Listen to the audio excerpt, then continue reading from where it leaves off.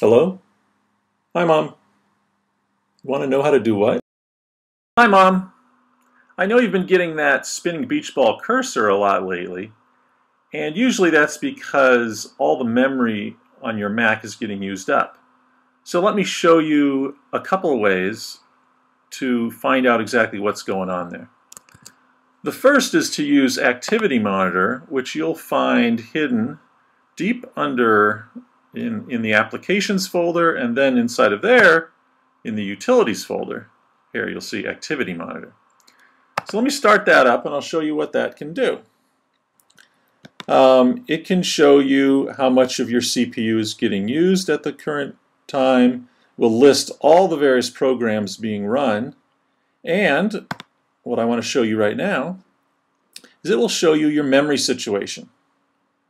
So here you can see that because I've got so many programs or applications running, and it's been about a week since I've restarted my computer, I only have 20 megabytes free, and that's out of a total of 4 gig on this machine.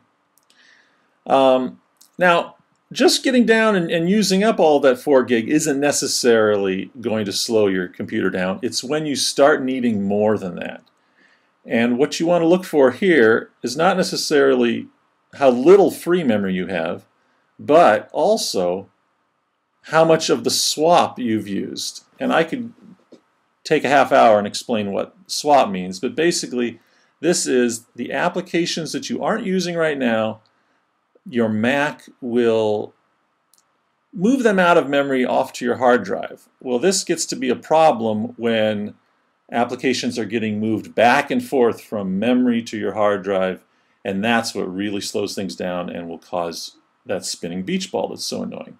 So since I've been running a week now, this 3 gig, this is way too big. It's time for me to restart. Um, so that's that's one way for you to find out if you've got a problem. I mean, after I restart, you'll see this is back to zero. But also, I'm going to show you an even cooler widget for your dashboard um, that I use much more often than this uh, activity monitor. So you can use the link below in the article um, to find this website here. It's a, widget called iStat Pro and just download it. You can see the zip file is getting downloaded here. Then I'll just double click on that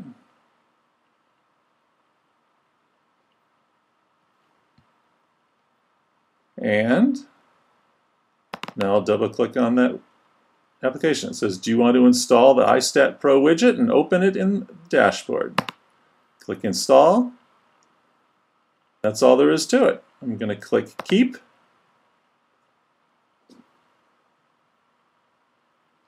And there it is. You can see I haven't even looked at my dashboard lately, so the temperature and all that is just filling in right now. So here it is. And they tell, give me a little advertisement for iStat for iPhone. I'll just say OK to that. So this here is the iStat Pro widget. And you'll see it tells you all kinds of good details here, and including you know CPU and memory and how much space you have, which I have very little. Even how fast your fans are spinning, how much charge you have on your battery, and how warm it is inside your computer. I'm going to make a few changes here. By clicking on that I, I'm going to, even though I prefer the metric system, I'm going to switch to Fahrenheit. I'm going to make it tall instead of wide. And under sections here, I'm going to, for memory, I'm going to set it to advanced. That's good enough for now. And watch what will happen here. Now, on my dashboard, I always will have this cool little widget that shows me how much of my CPU is getting used, which it's a lot right now. And most importantly, I only have 15 megabytes free, and my swap, this is, this is out of control.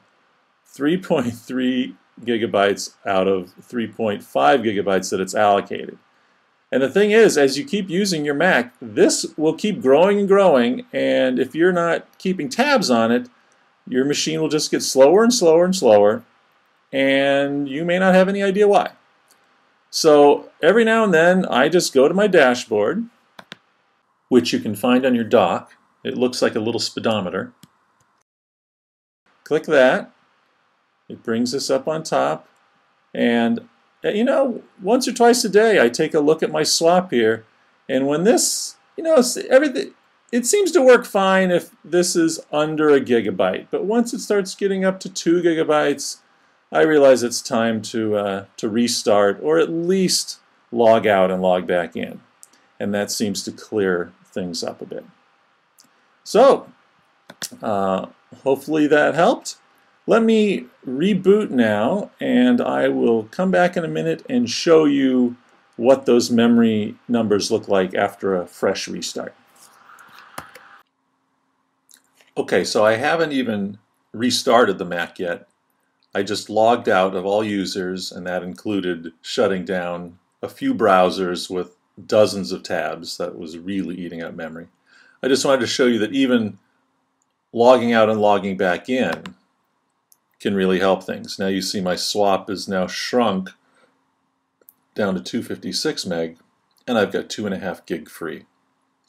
So now I'll go restart just to show you that this does start at zero after restarting. Okay, so I'm back after restarting my Mac, and now you'll see on the dashboard the iStat Pro widget here shows zero swap used. It does actually start off with 64 meg. I'd forgotten that.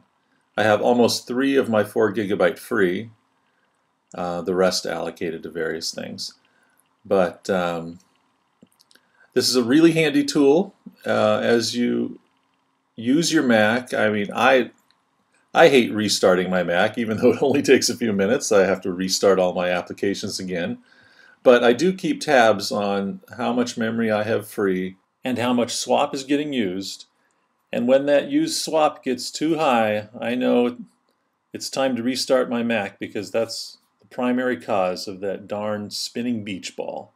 So remember, you can use Activity Monitor, but I really love that iStat Pro widget, and it only takes a minute to install, so give that a try.